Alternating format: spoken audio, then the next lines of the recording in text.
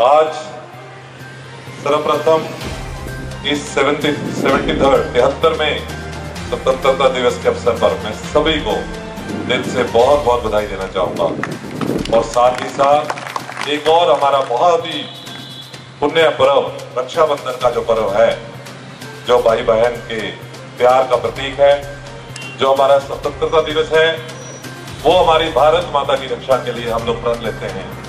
और रक्षाबंधन में सभी भाई अपनी बहनों की रक्षा के लिए आज प्रण लेते हैं। तो इस प्रकार से बहुत अच्छे दो हमारे राष्ट्रीय पर्व एक साथ मना रहे हैं और इस अवसर पर मैं सबको बधाई देना चाहूँगा सबका अभिनंदन करना चाहूँगा। इस अवसर पर हम शुरुआत करते हैं। गुप्ता जी ने हमें नाम बताए। सबसे पहले उन शहीदों को हम नमन करेंगे, जिनके कारण आज हम आज़ाद भारत में यहाँ पर एक स्वच्छंद वातावरण में बैठकर अच्छे ढंग से जॉब कर रहे हैं, आज़ाद भारत के निवासी हैं। हमें कुछ भी कहने की जाती है, हमें कुछ भी करने की जाती है। हमें अपने विचारों की, अभिव्यक्ति की जाती है। हमें अपने धर्म की मानना की, धर्म के साथ चलने की जाती है। ऐसी चीज़ें बहुत ज़्यादा देशों में नहीं है। तो निश्चित तौर पर जिनके कारण ये संभव हुआ, उन सभी शहीदों को सबसे पहले मैं नमन करना चाहूँगा। और उनको श्रद्धांजलि देना चाहूँगा ना केवल अपनी ओर से, पूरे ग्रेटर नोएडा परिवार की ओर से क्योंकि उनकी कारण आज आप यहाँ पर मौजूद है। उनमें नाम लेने की ज़रूरत नहीं है, परंतु शहीद भगत सिंह, अशफाकुल्ला, सुखदेव, राजगुरु पी के दत्त चंद्रशेखर आज़ाद, कितने नाम लेते जाए। और फिर हमारे महात्मा गांधी जी सुभाष चंद्र बोस, उस तरह के लोग, और उसके बाद भी उसी आज़ादी को बनाए रखने के लिए बहुत लोगों ने साधन दी। चार लड़ाइयाँ हमने बासठ की लड़ाई, उन्नीस सौ पैंसठ की लड़ाई, उन्नीस सौ इकहत्तर की लड़ाई और कारगिल की लड़ाई। वो हमने लड़ी, बहुत लोगों ने शहादत दी, उसके बाद भी।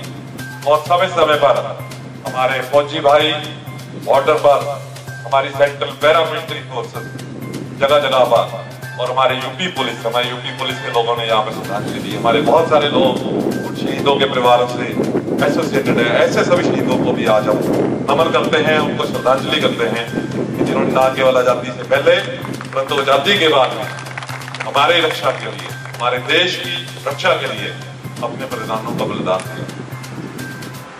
आज गुप्ता जी ने जब हमें देश का इतिहास बताया उन्नीस सौ सैतालीस के पहले का, मैं कुछ बातें आपको देश की जो नया भारत है, पुराना भारत और नया भारत, जो हमारा देश, आज़ादी के तय, जो हमारे देशभक्तों ने जिन्होंने ये बलिदान दिए, उन्होंने क्या देश के सपने लिए क्या सोचा था कि हमारा भारत सोने की वो कैसा भारत होगा? उनके सपनों का भारत कैसा होगा? और एक हमारा नया भारत, जिसमें ये नए बच्चे, जो हमारा कल का भारत है, जो हमारी नई पीढ़ी है, हमारा भारत बहुत यंग देशों में, सबसे यंग देशों में इनफेक्ट हो सकता है? सबसे नौजवान देश हो ये इन टर्म्स ऑफ़ आबादी की हमारे कहा जाता है कि 2026 में हमारे भारत की औसत आयु केवल छब्बीस या उनतीस वर्ष होगी। इतना यंग देश बहुत कम है। तो जहाँ एक और हमारा वो भारत जो हमारे देशभक्तों ने सोचा था, अपने सपनों में, और आज के जो बच्चे हैं, जिन्होंने कदाचित बहुत कम स्वतंत्रता संग्राम चलाने बचे हैं, परंतु उनके परिवार के लोग इनको स्टोरिया सुनाते हैं। आज का दिन है जब उनको हम उसके बलिदान के बारे में, क्या सपने थे उसके बारे में हमको बताते हैं। तो ये दो भारत में हमें जो आगे जाना है, वो ये बीच की पीढ़ी जो हम लोग हैं और हमारी जैसी जो संस्थाएँ हैं, भारत में कई तरह की संस्थाएँ हैं। ग्रेटर नोएडा अथॉरिटी, उसमें एक संस्था है। उनकी ये ज़िम्मेदारी है कि हमारे देश भक्तों के सपनों का भारत और हमारे जो नवयुवक हैं, हमारे जो नए भारत, जो हमारी फ्यूचर जनरेशन है, उनकी क्या आकांक्षाएँ हैं, क्या उनके सपने हैं वो भारत को किस तरह से देखते हैं? ये ट्रांजिशन की ज़िम्मेदारी एक बहुत बड़ी ज़िम्मेदारी होती है। और ये ट्रांजिशन इसलिए भी इम्पोर्टेंट है एक फिनोमना है डेमोग्राफिक डिविडेंड का जिससे भारत इस वक्त गुजर रहा है। जो भी देश जब भी डेमोग्राफिक डिविडेंड के फिनोमने से गुजरा इस, इस जो एक एक एक इवेंट होता है जो काफ़ी साल चलता है तीस पैंतीस वर्ष का देश की आबादी के ऊपर डिपेंड करता है कि उसकी एज अवधि कितनी होगी, क्योंकि भारतवर्ष की आबादी बहुत है। तो इसलिए हमारे लिए ये अवधि बहुत लंबी है। उस अवधि में हर देश अपनी सभी समस्याओं को पीछे छोड़कर आगे बढ़ जाता है। और देश जो विकासशील देश है, उससे विकसित देश की कैटेगरी में आ जाता है। ये परंतु उस समय उस देश को कुछ एक्शन लेने होते हैं। तो जब आपको गुप्ता जी ने हमारे उन शहीदों के बारे में बताया। मैं आपको यही अनुरोध करना चाहूँगा ये जो डेमोग्राफिक डिविडेंड का समय चल रहा है, इस समय में क्या होता है कि नवयुवकों की संख्या, हमारे जो डिपेंडेंट कैटेगरी के लोग हैं डिपेंडेंट कैटेगरी के लोगों में दो तरह के लोग आते हैं। जो बच्चे हैं, जो अभी पढ़ाई कर रहे हैं, अपना विकास कर रहे हैं, जो अभी देश के विकास में उस तरह से योगदान नहीं करते हैं कि जो आपको क्रियाकलाप, जिसे कहा जाता है तीन क्षेत्र, कृषि, उद्योग और सर्विस सेक्टर के माध्यम से देश के विकास में आप योगदान देते हैं, उसकी अर्थव्यवस्था में योगदान करते हैं, उसके विकास की गति में योगदान करते हैं। और जो उस योगदान को देने के लिए एक दूसरी कैटेगरी है जो बुज़ुर्गों की है, जब कहा जाता है रिटायर होने के बाद वो भजन करते हैं, उस समय भी योगदान थोड़ा कम हो जाता है। परंतु जो बीच का एज ग्रुप है, जिसको आप कह ले अठारह से कई बार उसको चौदह से गिना जाता है, और साठ, सत्तर जैसे जैसे देश विकास करते हैं, साठ साल की आयु की बजाय लोग सत्तर साल तक योगदान करते हैं।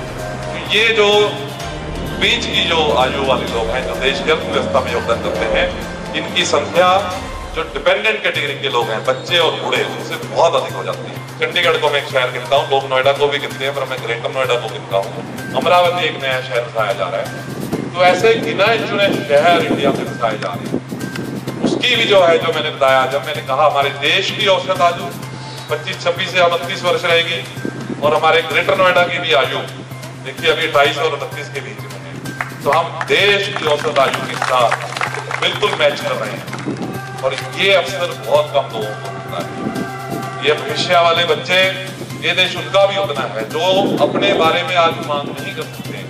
या बच्चे कल जो पैदा होंगे, वो उन उस देश के उन बच्चों के लिए हम क्या छोड़ के जाते हैं? क्या उनके लिए प्राकृतिक साधन साधन छोड़ के जाते हैं? एक फ़ोटो दिखाई गई थी कि 25 साल बाद सभी जो लोग होंगे, जो हमारी एज में होंगे या 50 साल बाद, वो सब एक हेलमेट पहने हुए थे। वो हेलमेट ना होकर वो ऑक्सीजन का, वो एक था कि उनको ऑक्सीजन मिल रही थी। तो बच्चे सब अपने माता पिता से पूछ रहे थे कि ये आपने हेलमेट क्यों नहीं पहना ये हमें क्यों बना दिया? इतना पोल्यूशन जो हमारी जनरेशन या उसने कर दिया।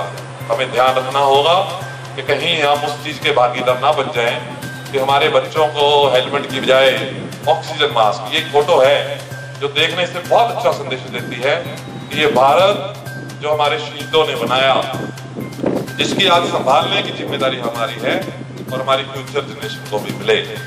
परंतु आज यदि भारत की बात करें इकहत्तर वर्षों में भारत ने बहुत कुछ अचीव किया है।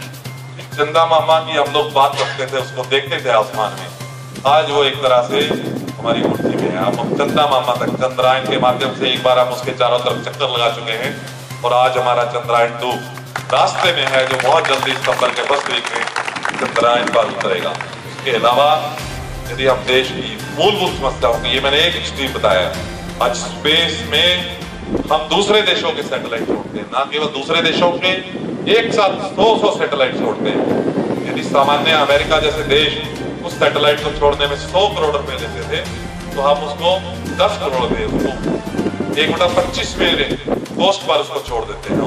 आज हम जब बात करते हैं इलेक्ट्रिसिटी फॉर ऑल मैं 2008 में यूपी में एमडी पावर कॉर्पोरेशन के पद था, उस में भी हम बात करते थे, परंतु हमारी डेफिनेशन थी यदि गाँव में हम दिल्ली ले जाए दस परसेंट लोगों को हम बिजली का कनेक्शन दे दें तो गाँव की तबीयत सूझ जाती है और बीपीएल के लोगों को कनेक्शन दे दें तो उस गाँव को संतृप्त मान लिया जाता है। तो ये डेफिनेशन परंतु आज लगभग दस वर्ष में जब एक्चुअली उस लास्ट नागरिक को दे देते हैं तो वो होता है। अभी माननीय प्रधानमंत्री जी ने पानी मतलब सबके घरों में स्वच्छ पानी, पीने का पानी। उसका सपना हमको दिखाया है इसकी बात करें स्वच्छ जो सबसे बेसिक मूलभूत है लगभग हम उसको अचीव करने जा रहे हैं किसी चीज़ की एलपीजी हमारी माँ बहने आज रक्षाबंधन का दिन है उसकी रक्षा भी बात करते हैं परंतु हम उसकी आँखें वो किस तरह से धोने में जो आपको मार मार के आपको खराब करके खाना था उसके लिए एलपीजी किस बात कर करें उस स्टेज पे बैठे जहाँ हम electricity for all LPG for all drinking water for all sanitation for all Sulabh Shauchalaya for सब चीज़ों के लिए हम उस स्टेज पे हैं। तो केवल हमें ये सुनिश्चित करना है कि वही कोई भी एक व्यक्ति सुविधा की सुविधा से